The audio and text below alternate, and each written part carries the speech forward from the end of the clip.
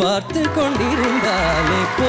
உங்களோட girl friend இருக்காங்க. நாளைக்கு இந்த ராஜாவை நீங்க திருமணம் செய்ய கன்ஃபார்ம் பண்ணிக்கிறீங்களா? இவ்வளோ அழகா இருக்காரு அழகா பாடுறாரு. அப்புறம் என்ன வேணும்? ஒரே ஊராற்று ஒரே ஊரு லவ் யூ எனக்கு வந்து லவ் பண்ண போல இருக்கே.